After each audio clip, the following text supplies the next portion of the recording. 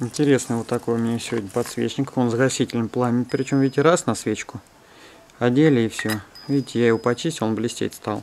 Он был темный такой же, как вот подсвечник. Подсвечник клейм нету. Год неизвестен.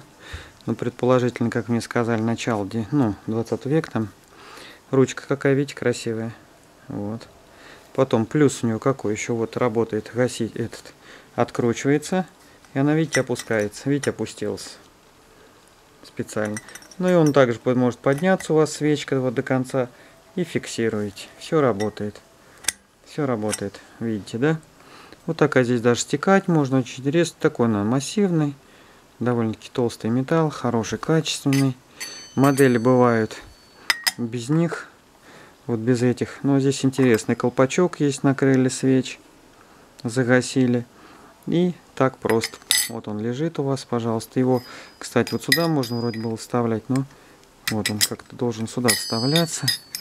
Он почему-то я правда не пробовал. Вот. Он должен вот тут во, вот так вот он должен быть да в комплекте. Так он и должен быть. А так у меня еще что есть? Вот такие тоже гасители свечей видите? Хоп хоп хоп. Ходили раньше дворецкие тушили. Много было раньше свечей. Хоп хопа и пошли ну это у меня подсвечники смотрите тоже репортажи латунные посеребренные вот посеребренные потом вот так у меня херувимчики есть видите какие. Причем какой плюс? Ну, это вы про них отдельное объявление ищите или там у меня спрашиваете. Тут мальчик с девочкой в комплект. Видите?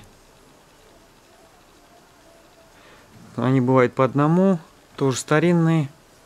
Вот. Ну, страну я не знаю, если кто-то знает, может написать. Вот сюда свечки вставляются.